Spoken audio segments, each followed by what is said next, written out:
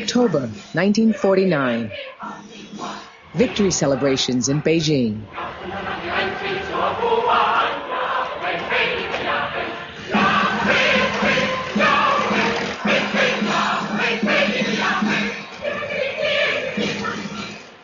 Over 30 years after the Soviet Revolution, communism makes a second great advance.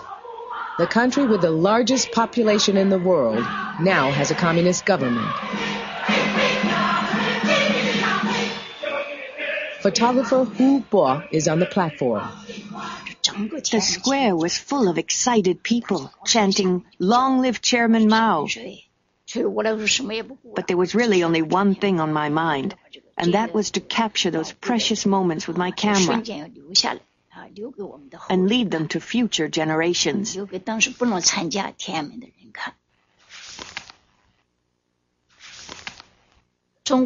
was a special day for China. After thousands of years of struggle, we were liberated at last.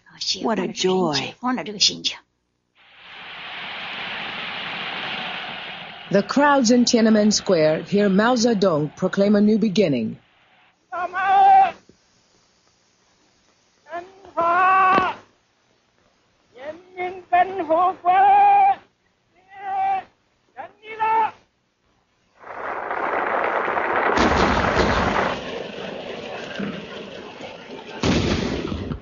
Mao says China will now be free of inequality, poverty, and foreign domination.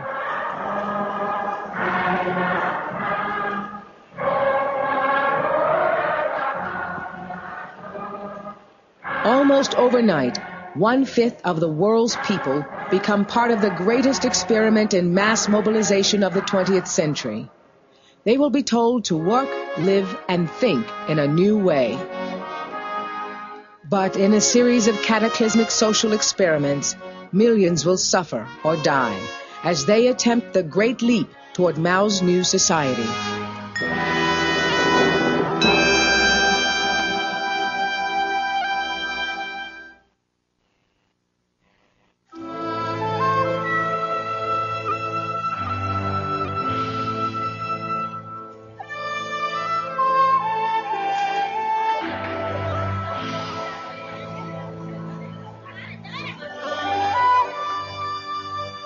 For the first half of the 20th century, most Chinese still lived in ways that had remained unchanged for generations.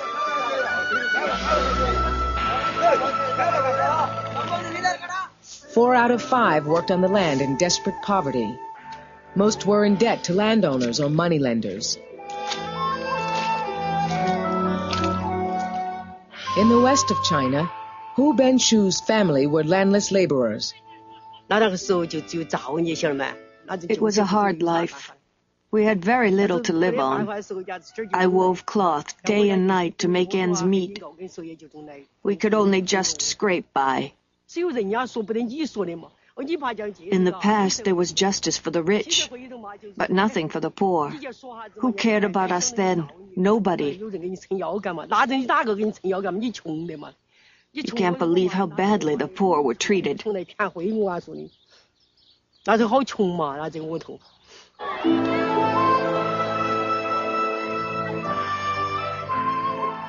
The need to tackle rural poverty and modernize was recognized in the 1920s. President Chiang Kai-shek reestablished a central government, ending the turmoil between rival warlords. His Nationalist Party drew support from Chinese businessmen and the landowners in the countryside. Foreigners were allowed to keep their privileged hold over trade and finance. And the nationalists believed that in time, capitalism would spread its wealth out to the other China, beyond Shanghai and the coastal cities.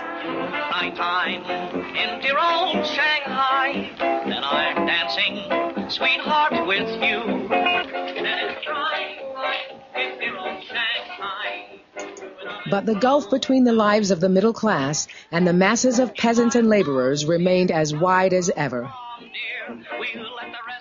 Jing Jingzhi was married to a leading Shanghai businessman. I learned how to dance and used to go out with my husband to social functions. He enjoyed playing mahjong and always took a lot of trouble about how he dressed when he went out. As China began to industrialize, low wages and poor conditions increased the social divide.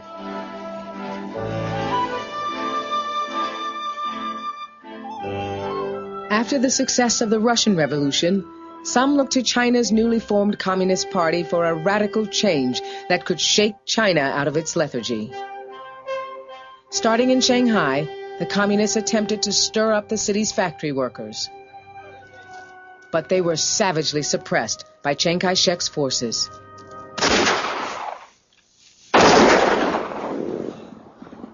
Those who survived fled to the countryside and were pursued across China.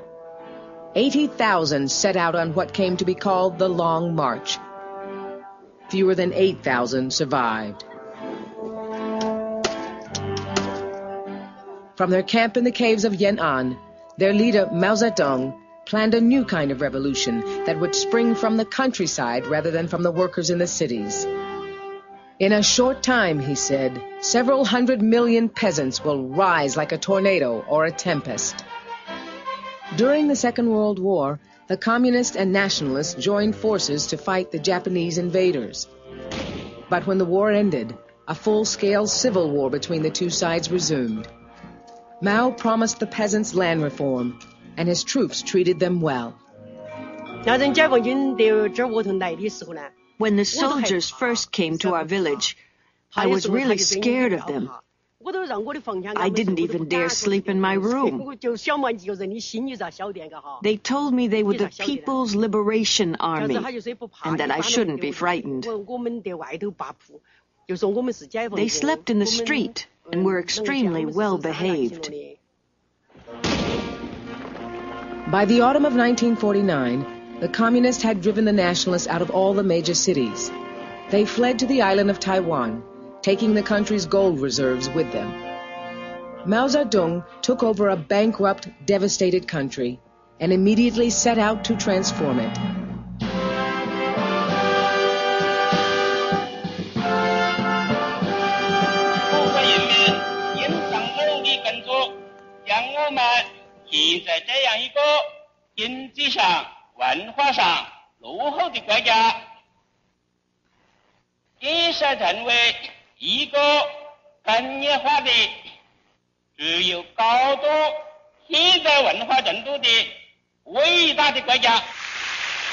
Mao now held more power than any leader since the emperors. He promised a China that could stand on its own feet alongside the other world powers. 我们的事业是正义的事业是任何敌人也攻不破的。领导我们事业的核心力量是中国共产党，指导我们思想的理论基础是马克思列宁主义。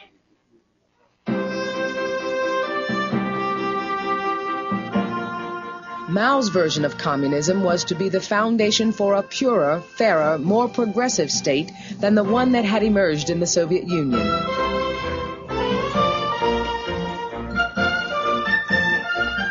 It was to be a revolution in which the peasants were to take the leading role.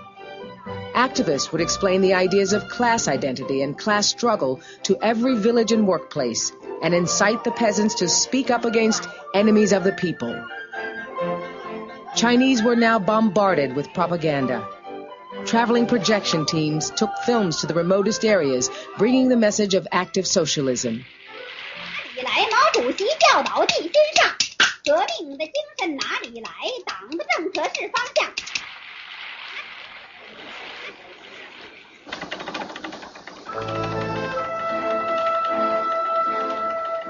As the revolutionary program began, the peasants were the first to benefit.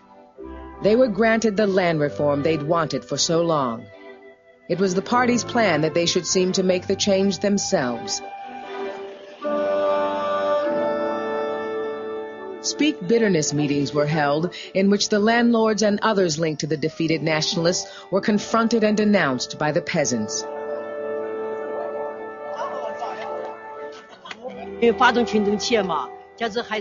We were told to get together and ask the landlords to return land to us. We stated how much they should return and how they should return it. There was a denunciation meeting every day.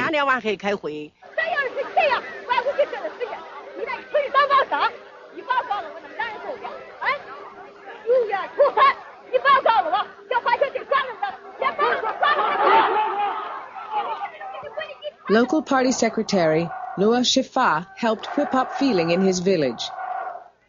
The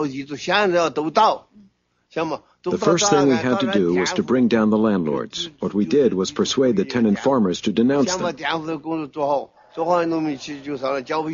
the public meeting, they would explain how they couldn't afford to pay back the rent every year, or how they had to take out high interest loans to pay it off.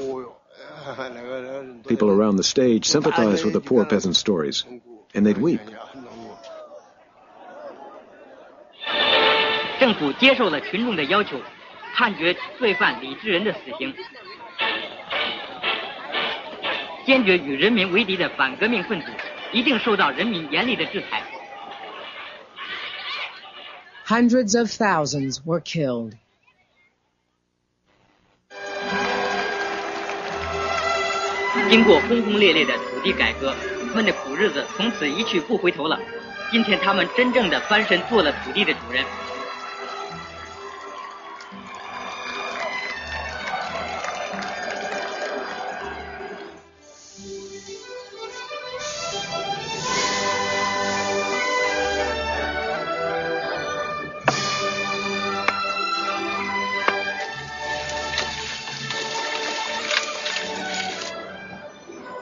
The class warfare was less vicious in the cities.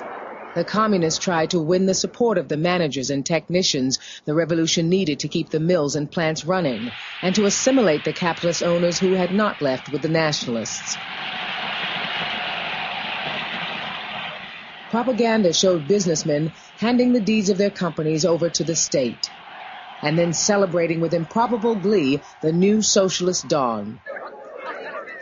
Jian Guodong, district party secretary, heard what was really happening. By day, they pretended to support the party. But at night, behind closed doors, they'd gather their families around them and cry, bemoaning the fact that everything they'd worked for would soon be lost.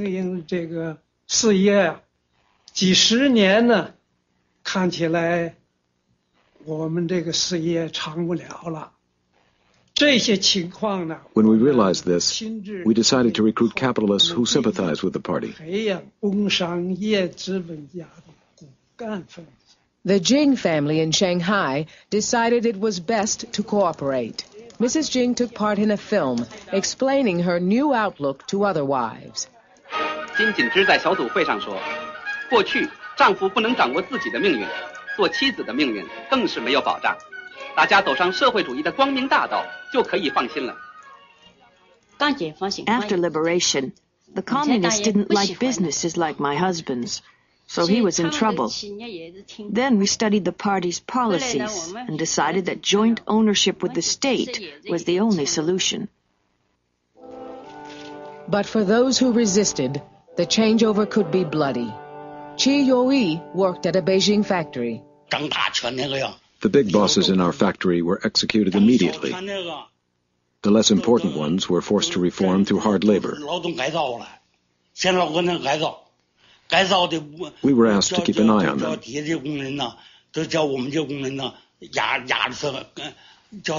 We hated them so much, we beat them if they didn't work hard enough. That's the way they treated us. In the past, they'd been the masters. Now, we were.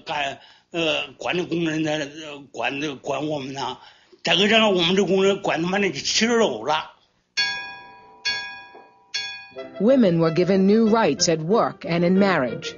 The painful tradition of foot binding was abolished and women were helped in the drive to end illiteracy.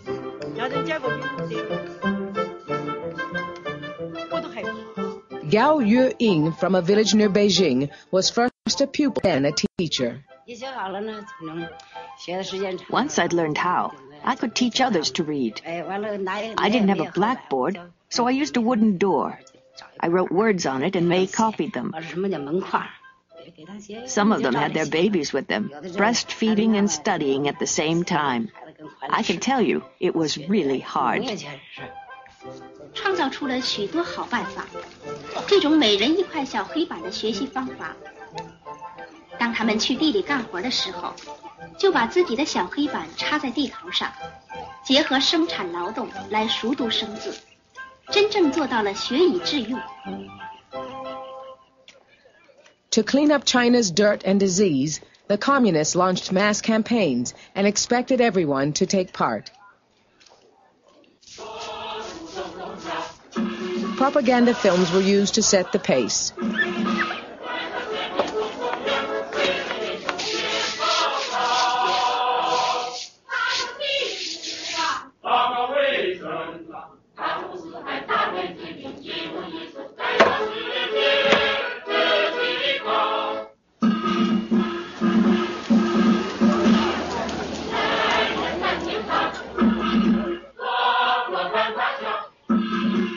Millions were inoculated against the epidemic diseases that had racked China. War was waged on old habits.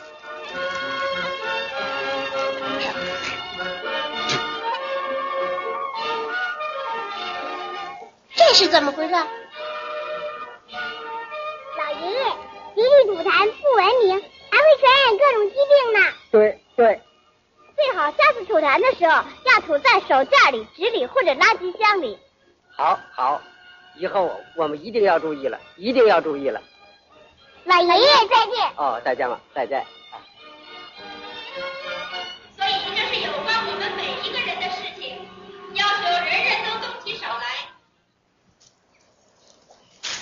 The pressure was inescapable. Party activists checked up on their neighbors' housework. Zhen Fuqin from the local street committee went from house to house. We used to say, do you love your country? The country is calling on you to carry out the public health campaign. Get on with it. When they heard this, people said, ah, if we don't do it well, that means we don't love our country. We used to go up the lane to check on people's housework to see if they'd done it properly. We'd examine the tables to see if they were dusty. If everything was neat and tidy, that would be fine. If not, I would tell the women to do it better.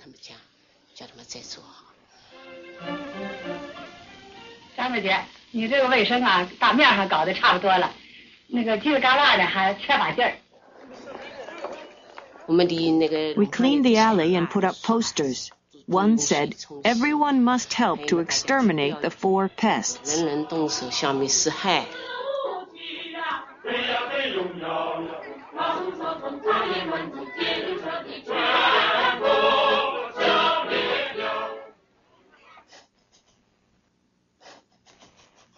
Nothing escaped attention.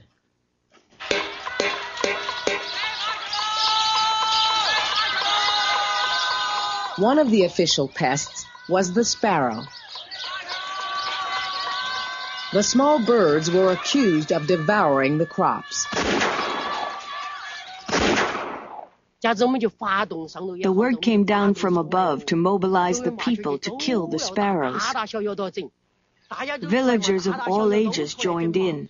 We were so busy, we even had to take turns to eat. The trees were really high and hard to shake, but everyone did their best so the sparrows couldn't land. Mm, we used slingshots. Mm, Some people used guns. Whoever killed the most sparrows was praised and given rewards. Those who caught fewer were criticized and encouraged to do better the next day. In fact, the campaign backfired. With the sparrows gone, more insects survived to strip the crops. The same effort to get mass participation was applied to another type of cleansing, of incorrect thoughts. People were asked to look out for neighbors or fellow workers who seemed to meet the party's description of rightists or capitalists or counter-revolutionaries. They were then denounced.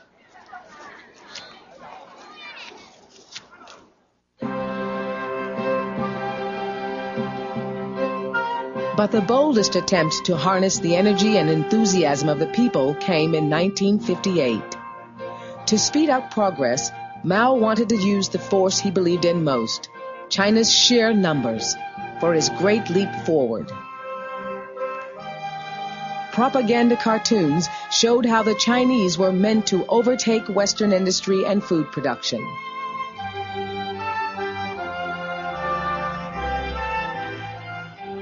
Land so ceremoniously given to the peasants after the revolution was now taken back, and the peasants were herded into huge communes.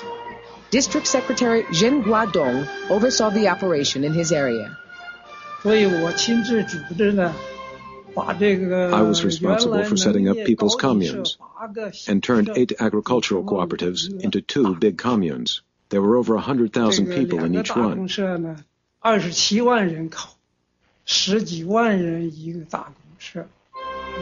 Big communes could handle big projects. With thousands of people to do a job, Things were completed in no time.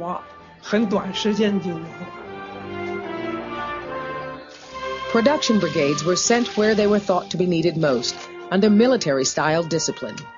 The party said it was a more efficient, better, faster way to build socialism. Private ownership of land had already been eliminated. Now family life was to be destroyed as well. Peasants were to eat food cooked in central kitchens, children would be looked after together.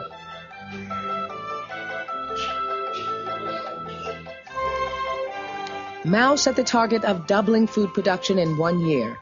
Revolutionary enthusiasm, he said, will triumph over all obstacles. He took a close interest as the peasants tried to increase yields. When the Dongsheng commune promised a record harvest, it was Zhen Guodong, the district secretary, who showed the chairman around. Chairman Mao himself visited the show field and asked how much it was expected to yield. My colleague said 50,000 pounds an acre. Chairman Mao replied, even if you could achieve 10% of that, it would be a miracle.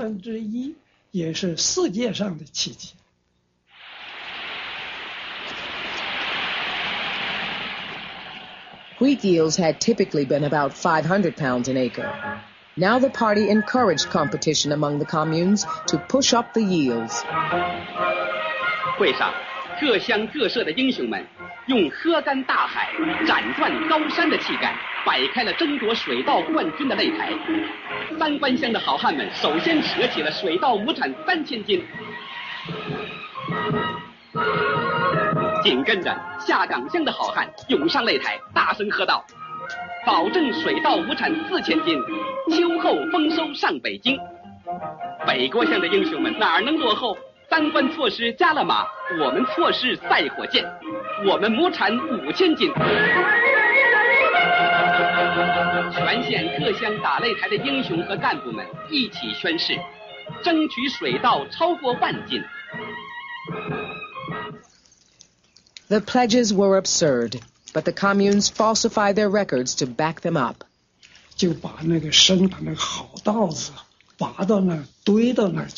We removed the already planted rice from the fields and replanted it in a show field so that we could reach our quota.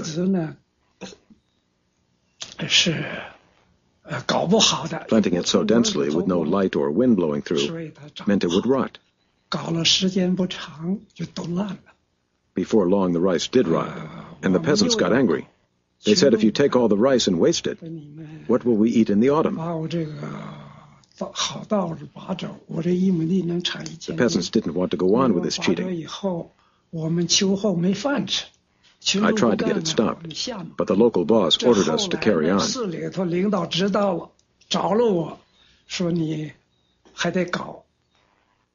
But the false statistics contributed to a dangerous delusion that China had plenty of food and could concentrate on other things. We must reach for the moon and the stars, said Mao. Man can achieve anything he can imagine. Huge construction projects also pitted great masses of people against apparently insuperable obstacles. Lin County in Henan was an arid plain blocked off by mountains. The 1,800 mile long Red Flag Canal was planned to bring in water over the rocky terrain. The canal workers were celebrated as revolutionary heroes.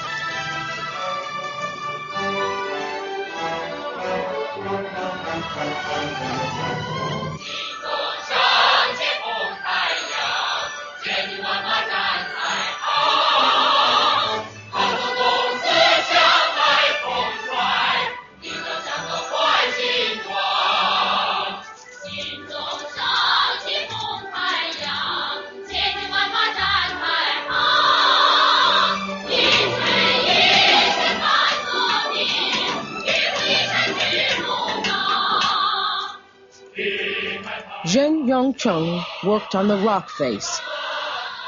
I tie a rope around my body and swing out into the air. I used a pick to remove the loose stones. When they fell, I had to try hard to keep out of the way to avoid getting my legs broken.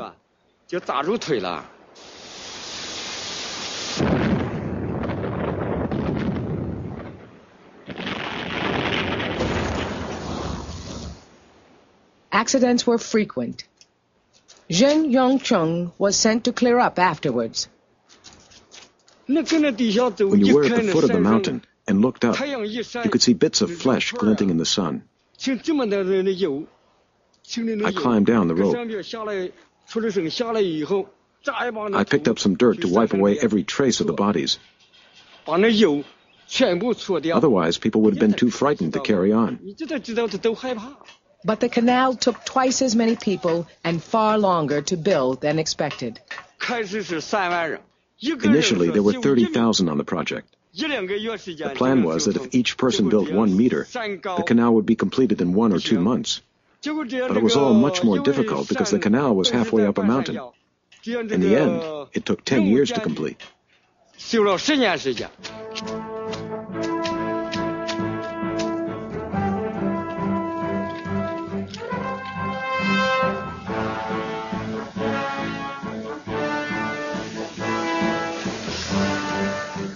The most ambitious goal of the Great Leap Forward, Mao told the Chinese that production of steel had to double in one year. And instead of producing this just from heavy industry, the energy and idealism of the peasants was to be mobilized again. Small furnaces were built in villages and backyards across the country. They collected any scrap they could find. They melted down doorknobs, wash basins, tools. As the fever grew, people gave up their cooking woks.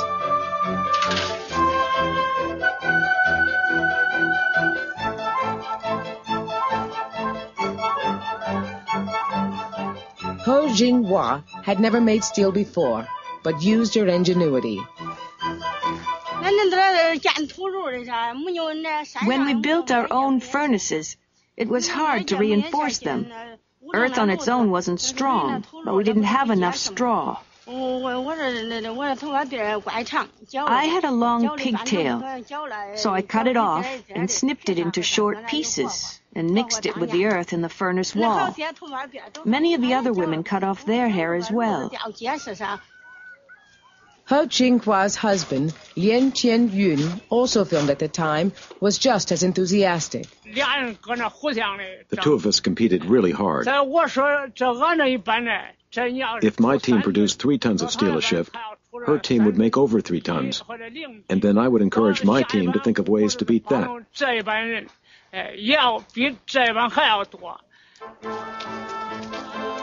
Forests were decimated to fuel the furnaces 24 hours a day.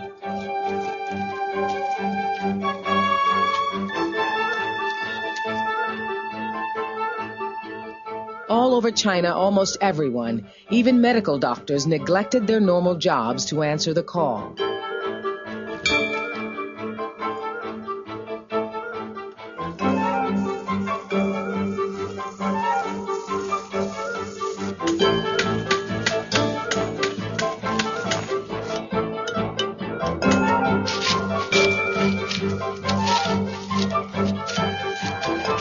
But even those taking part began to see it was folly.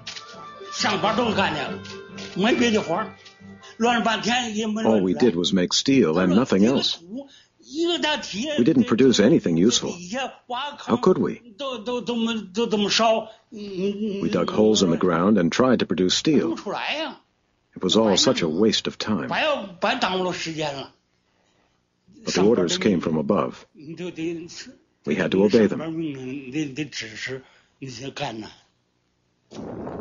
Slowly, it became clear that after so much effort and time, after so much wood had been burned, and so many pots and pans consigned to the flames, the steel produced was impure, weak, and useless.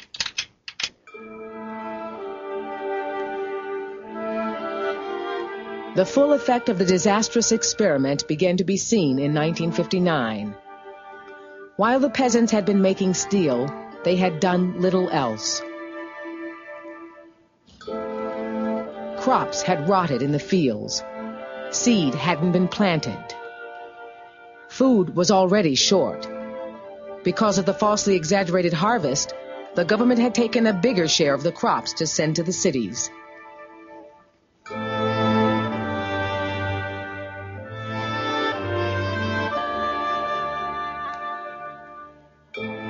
A drought made the problem worse.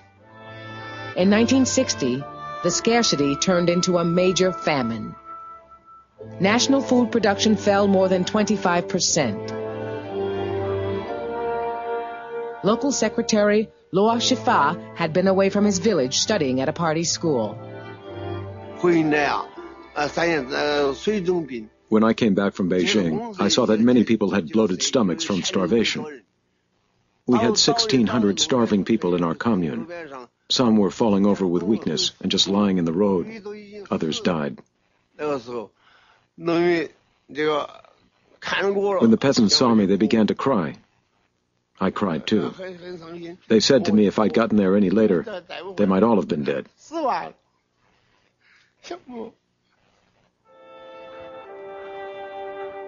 In a secret report, the party later admitted the full extent of the calamity. Their own figures showed that over 20 million had died from the famine. It was almost certainly more. The new graves in the burial grounds confirmed that the Great Leap had failed. Revolutionary enthusiasm hadn't been enough.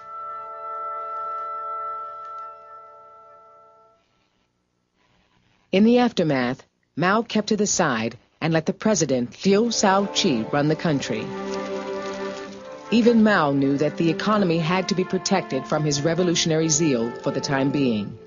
So more cautious targets were set. Large communes were abandoned. Chinese peasants were allowed some land again and could sell their produce in free markets. They were allowed to live as families and return to a more normal life revolutionary rhetoric was toned down. There were fewer slogans. But Mao was biding his time. He feared his revolution was losing steam, and he was losing control. He saw a privileged bureaucratic class emerging as had happened in the Soviet Union. He feared the return of capitalism and materialist incentives, and believed China's chance to have a perfect socialist society was passing. Mao's supporters printed a book of quotations from his political speeches and writings and used them as the basis for a new attack on what was called the capitalist road. We still have to wage a protracted struggle against bourgeois and petty bourgeois ideology, said Mao. As he tried to regain power, Mao used a piece of spectacular political showmanship to revive his reputation. Ah,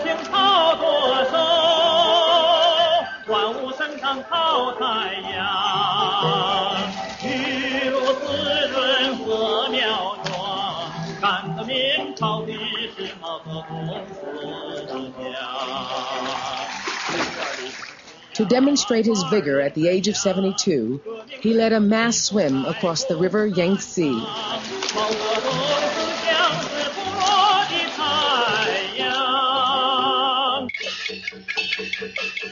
The thousand year old Beijing Opera was Mao's next target.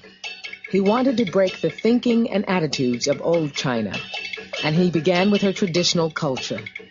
If the opera could be changed, then anything could be. Eight new revolutionary plays were written to replace the old stories of emperors and concubines.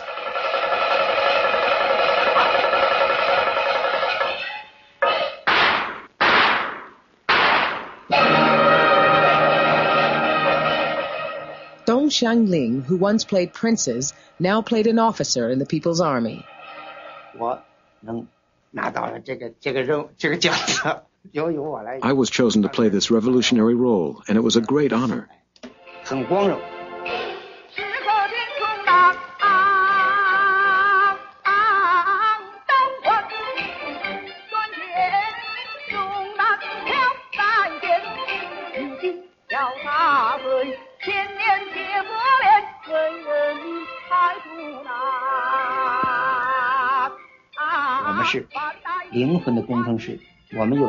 As artists, we were engineers of human souls. We didn't just perform to earn money, but had a serious responsibility to re-educate people.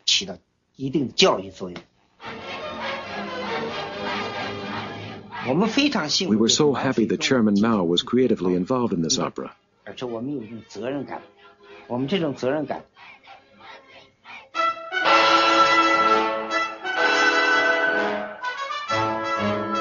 In August 1966, Mao unleashed the Great Proletarian Cultural Revolution. He was assisted by a group later known as the Gang of Four, which tried to build the Mao cult to new heights.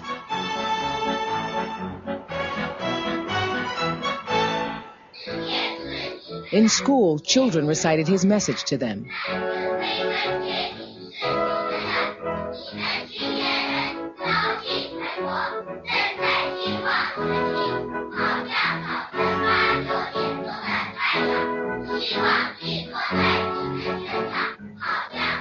In Shanghai, at the number six girls' school, Xiao Ailing was the headmistress.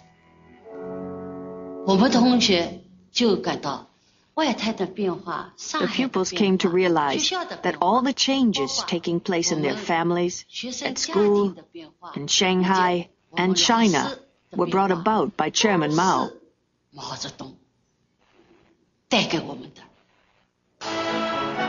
Students were used to carry the Cultural Revolution forward.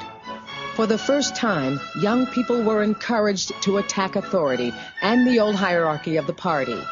And the advice came from Mao himself. Bombard the headquarters, he said. To rebel is justified. One of the Beijing students who were the first to call themselves Red Guards was Zhong Baojing. Chairman Mao started the Cultural Revolution to keep up the momentum for change. Everything he said was right. We thought if we follow Mao, we can't go wrong. Only he can lead us from one victory to another.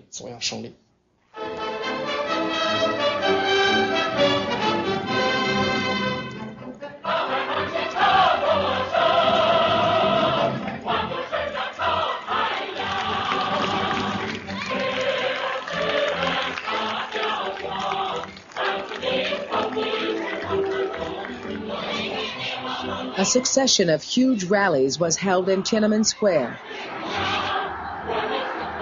The master of mass mobilization had shown he could still draw a political response directly from the people. This time, it wasn't the peasants in the country who did his bidding.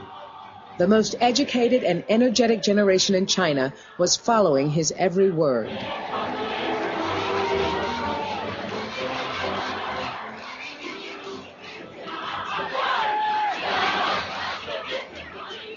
The students felt excited and liberated as never before.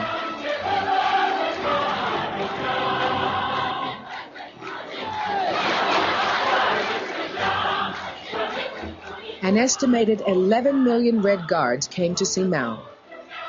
15 year old Zhao Shuyun was presented to him.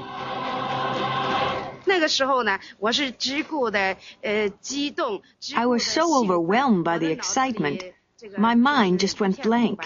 The only thing I wanted to do was to get a good look at Chairman Mao and shake his hand if I got the chance.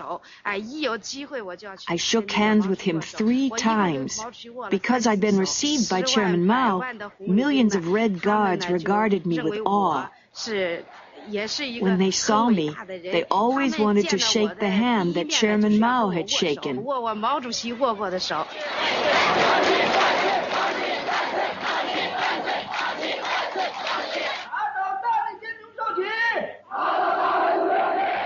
The rising fervor was directed at Mao's rivals, including President Liu Shaoqi and Deng Xiaoping. Banners attacked Liu.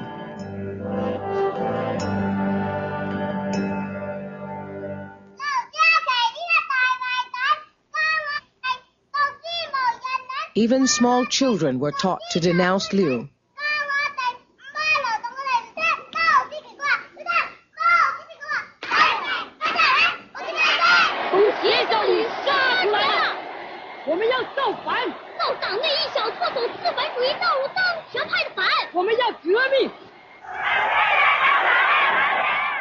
Rage was extended to foreign governments.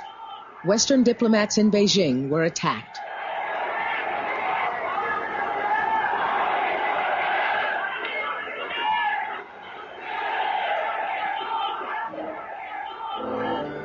Almost anyone who was in power of any kind was denounced as a capitalist sympathizer.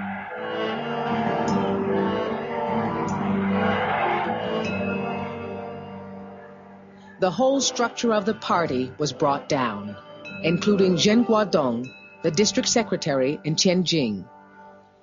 In all the previous campaigns, I'd been singling people out and telling them their mistakes. I was the one who found fault with them.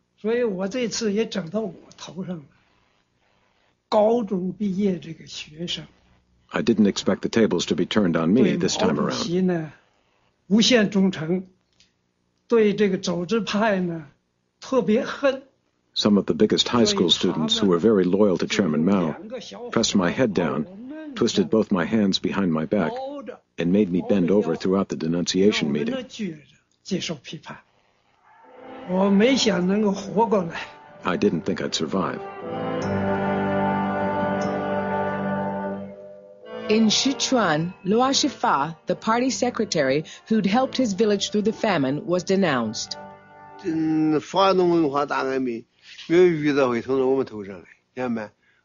didn't expect the Cultural Revolution would affect me. Why should it? I knew I hadn't done anything wrong. I'd always had the support of the people. At the denunciation meeting, they slapped my face and forced me to kneel down.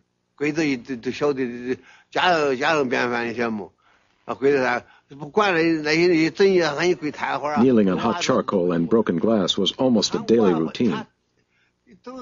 So what I did was to put a soft pad inside my pant legs. And that made it easier when I was forced to my knees.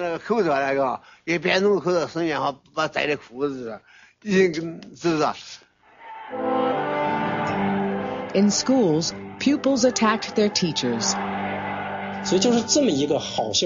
Our headmaster had been really good to us, but even he couldn't escape. We didn't hate him personally, but he represented bourgeois values, so we had to attack him. We dragged our headmaster onto the school stage. Then students put a dunce cap on his head and a big placard around his neck. The more extreme we were, the more loyal we felt to Chairman Mao.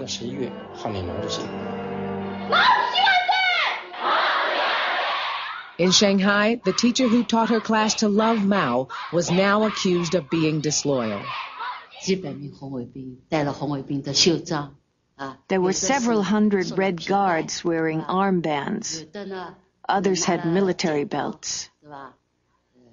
Some had scissors in their hands. ready to cut people's hair. They chopped off my hair and beat me with sticks. They ordered me to produce the Red Book and to recite that revolution means rebellion and violence. That day I was wearing a white shirt without pockets, so I wasn't carrying the Red Book with me. They said, if you're not carrying the Red Book, that means you aren't loyal to Chairman Mao. Ah, How dare you say you love Chairman Mao? You deserve to be overthrown.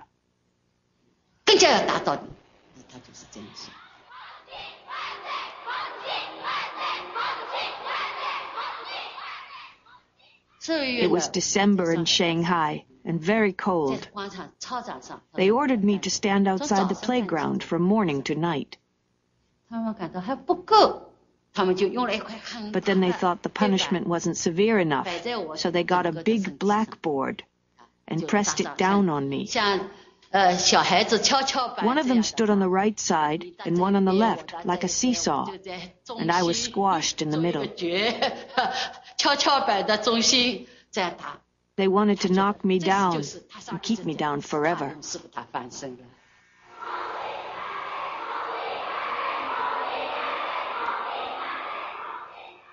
Xiao Ailing was left with permanent injuries to her face. Up to a million were killed or driven to suicide. The country was now in the grip of a revolutionary mania that became more and more violent and destructive. The Red Guards attacked the four olds old habits, old ideas, old customs, old culture. Books were burned and museums pillaged.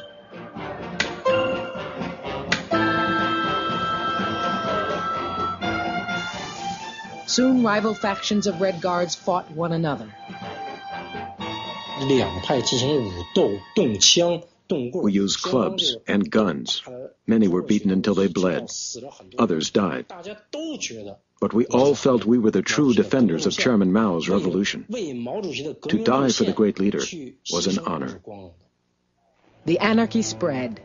Schools and hospitals closed. Offices and factories were in chaos.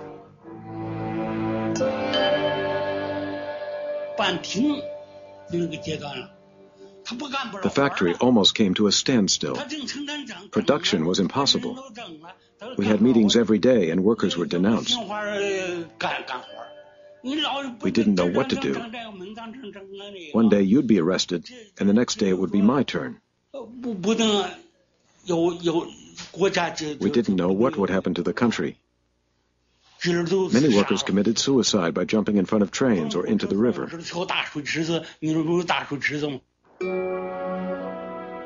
The attempt at a state of continuous revolution was impossible to keep up. Eventually, people craved the return to a more normal, stable life. After two years, the army had to be called in to end the factional fighting, restore order, and help reestablish the party's authority. And the Red Guards were sent to the countryside to cool off and learn from the peasants.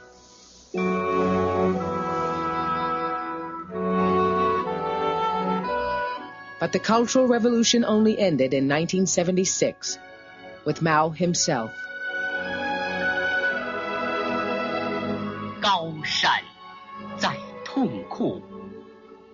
大海泪涛涌，惊天动地的噩耗啊，震撼全球。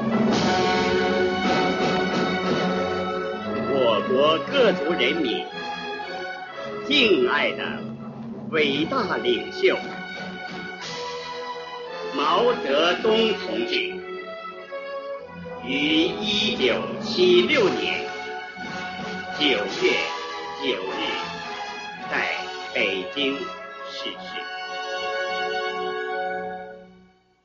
In a bid to keep the country together, the propagandists exploited the scenes of mass emotion on Mao's death.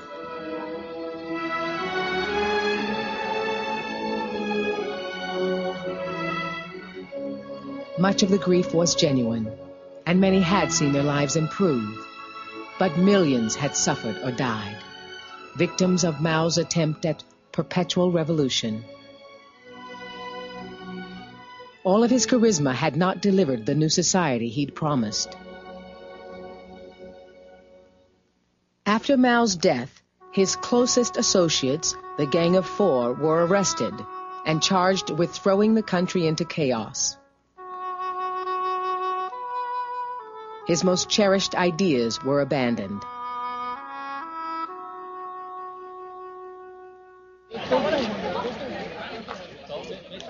Mao's successor, Deng Xiaoping, tried to replace ideological fervor with economic activity. The Chinese were to be mobilized not by dreams of equality, but by money. In the 1980s, political control was as tight as ever, but the slogan from the top was, to get rich is glorious.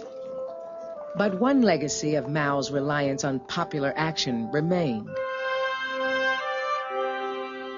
During the Cultural Revolution, he'd allowed the students to challenge authority and feel a new sense of liberation. After Mao, the state always knew that the people, once they'd learned how, might try to challenge the party's authority again. And their fears were to be borne out in 1989 on Tiananmen Square.